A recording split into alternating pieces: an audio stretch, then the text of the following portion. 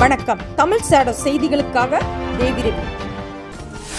நாட்டிற்குள் உள்வரும் அனைத்து பயணிகளும் ஜனவரி நான்காம் தேதி செவ்வாய்க்கிழமை முதல் நாட்டிற்கு வருவதற்கு எழுபத்தி இரண்டு மணி நேரத்திற்கு முன்னதாக பிசிஆர் பரிசோதனை எடுக்க வேண்டும் என்று குவைத் அமைச்சரவை முடிவு செய்துள்ளது.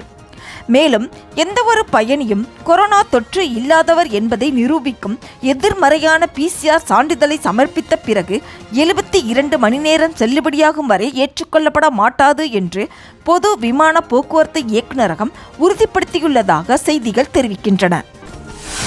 குவைத்தில் வரும் ஞாயிற்றுக்கிழமை ஜனவரி ஒன்பதாம் தேதி முதல் பிப்ரவரி இருபத்தி எட்டாம் தேதி வரை மூடிய இடங்களில் நடைபெறும் அனைத்து வகையான சமூக நிகழ்வுகளையும் தற்காலிகமாக நிறுத்தி வைக்க அமைச்சரவை முடிவு செய்துள்ளது. தொற்று நோயின் நிலைமையை பொறுத்து முடிவு பின்னர் மதிப்பாய்வு செய்யப்படும். நாட்டில் கடந்த இருபத்தி நான்கு மணி நேரத்தில் தொள்ளாயிரத்தி எண்பத்தி இரண்டு கொரோனா புதிய வழக்குகள் பதிவாகியுள்ளதால் தினசரி நோய் தொற்று அதிகரித்து வருவதாக சுகாதார அமைச்சகம் கூறியுள்ளது.